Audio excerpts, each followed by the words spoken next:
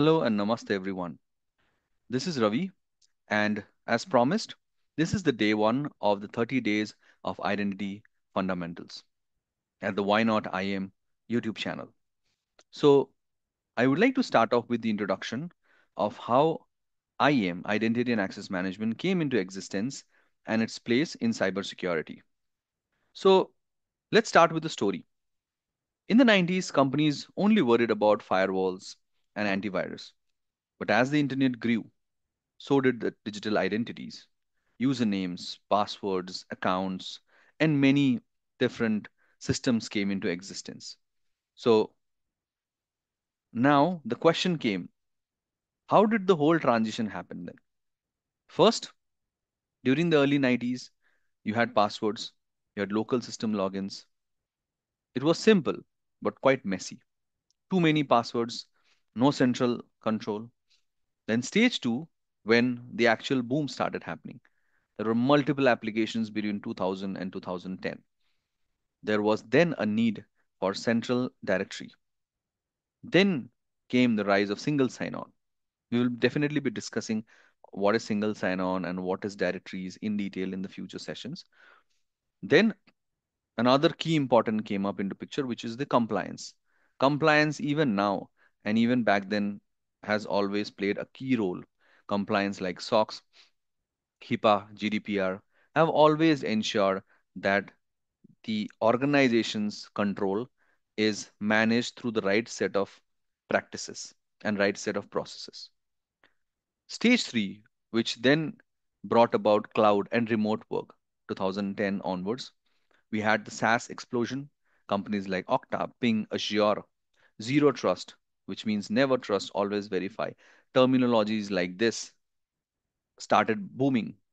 And then you also had privilege account or privilege access management for admins, IGA. All of this started bubbling up, right, as a new word. So to summarize this, the evolution of identity and access management started with the early IT era. You had passwords and local systems logging in where the norm it was a norm right? Leading to password chaos. One of the main challenge was people had to store password on their personal devices on a piece of paper. That was definitely a huge risk right? That that actually created um, security risk across organizations. So hence they tried to move towards central directory. But even then ad ad microsoft ad became one of the main most commonly used central directory and then sso using ad became one of the most used technologies right? Where you were able to log into multiple applications primarily focused on protecting against compliance and security. And right now in the current era from 2010 to now companies use those technology put them into something called as an identity provider or identity governance tool or privilege access management tool. And then we now see all the products like ping okta sailpoint all of them flourishing primarily to solve the cloud and remote work problems that we see. And also to kind of ensure that the central directory is now being managed somewhere behind the whole idp systems so that it is not directly exposed over the internet. Eventually ensuring that you're able to live up to the compliance as well as improve the security posture. So to summarize, the evolution of identity and access management primarily went from a world of passwords to now zero trust.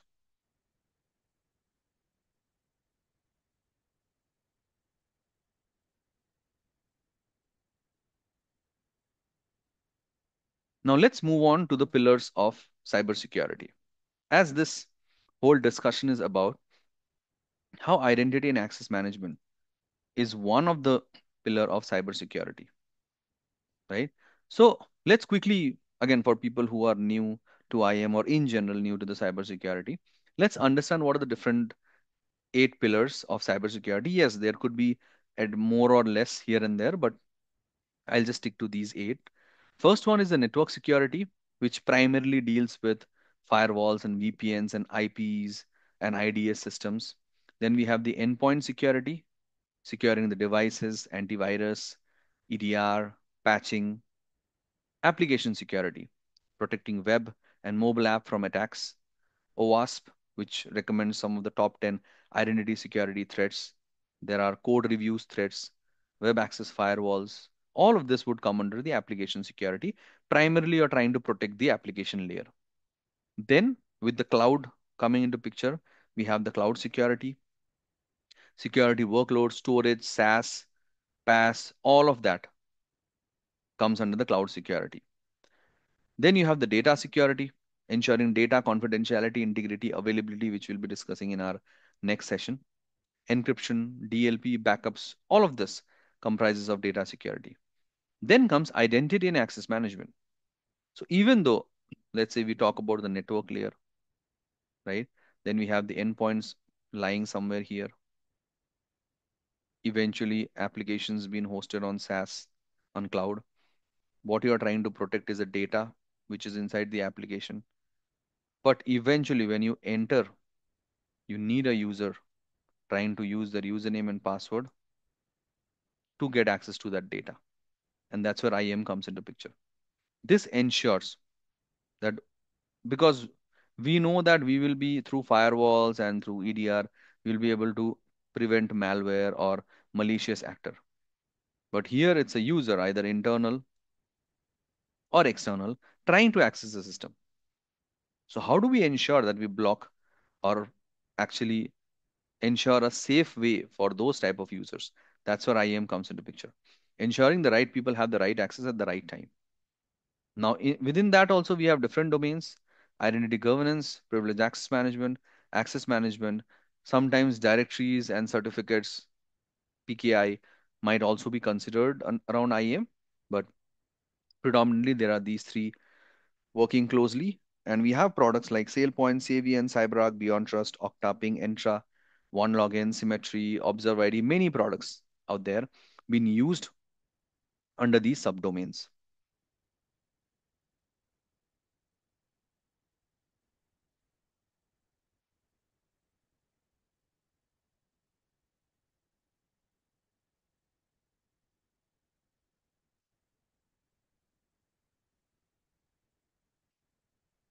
Then we have the security operations, which is the seventh domain, which has the detect, response, investigate threats, SIEMs, or any type of security threat is first been detected and responded and investigated on the security operations, SOCs or SecOps or monitoring team. and the last one, compliance and governance. Eventually, whenever an organization is formed, you are definitely there is data lying around you're trying to protect but at the same time, for a business to function properly, compliance plays a major role. If you're not compliant, if the business is not compliant, if the regulatory requirements are not met, you will not be able to take the business forward. Even though you have the best security, you have the best IAM system, you have the best way of detecting, monitoring the threats. But compliance plays a major role here. Right? So your organization will have to follow some of the other compliance, whether it is GDPR or HIPAA or SOX, any of these compliance, DPDP in India.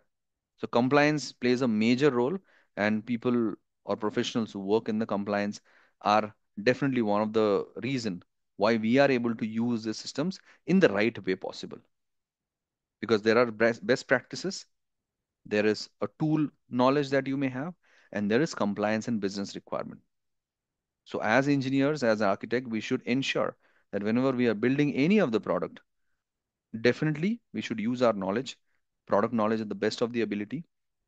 In that, understand the industry and see what best practices can be used, but also make sure that whatever proposal we are giving, that should be aligned with the compliance and business requirement. We cannot build a product or a design which does not comply or does not meet the business requirement and does not complies with the compliance and regulatory requirements. So with this, I will sum up the day one. I hope this was helpful, uh, where we talk about the introduction of the evolution of IAM and how in the whole world of cybersecurity, where identity and access management falls under. In the next session, we'll be talking further into what IAM is all about and the breakdown from there. Thank you very much.